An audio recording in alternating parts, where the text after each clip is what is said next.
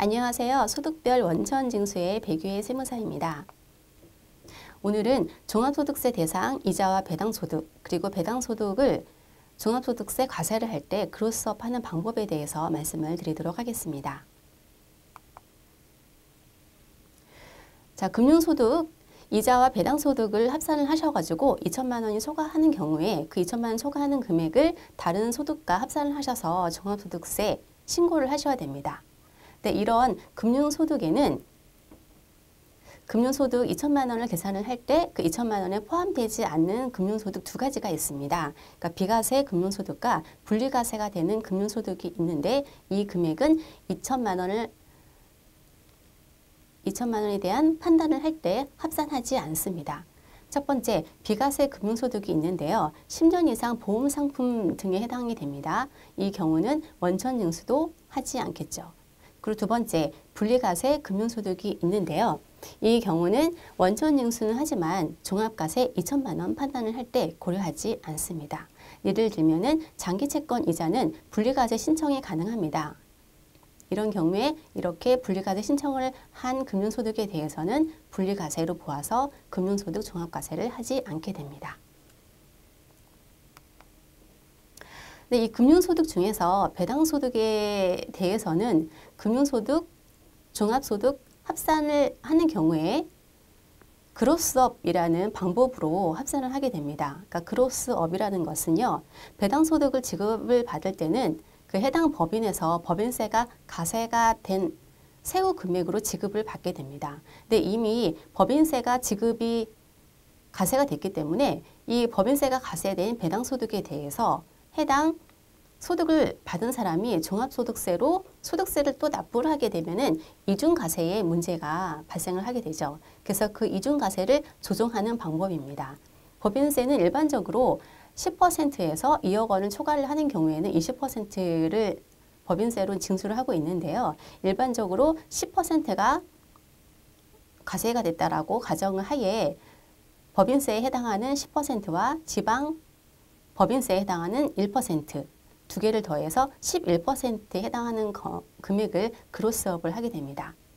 사례를 들어서 말씀을 드리면 그러니까 실제 배당, 배당액이 100원이라고 했을 때는 이거는 이미 법인세가 가세가 된 세후 금액이기 때문에 법인세율 세전 금액으로 법인세를 과세하기 전 세전 금액으로 돌려서 세액공제를 해주게 되는데요. 100원의 배당금을 받았다라고 했을 경우에는 그로스업에 해당하는 11%, 10일에 해당하는 금액을 가산을 하게 됩니다. 종합소득세율이 만약에 20%라고 했을 때는 110 1에 해당하는 20%인 소득세를 22.2%가 나오게 되는데요.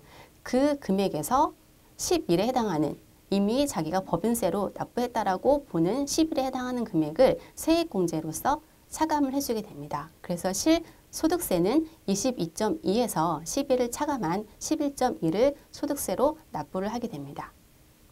취지는 배당 소득하기 전 과세된 법인세의 이중과세를 조정하기 위한 방법입니다. 자, 그러면 무조건 배당 소득이 이렇게 그로스업 대상 배당 소득인지에 대해서 말씀을 드리면 그렇지 않습니다.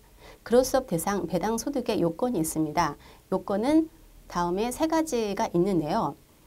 법인세가 가세가 됐다는 것을 요건으로 하기 때문에 법인세가 가세되지 않은 외국 법인으로부터 받은 배당소득인 경우에는 그로스업 대상이 되질 않습니다.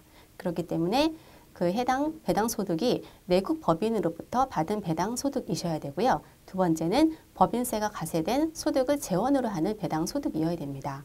그러면은 법인세가 가세되지 않은 소득을 재원으로 하는 배당 소득에는 무엇이 있을까요? 어, 예를 들면은 감자 차익이 있습니다.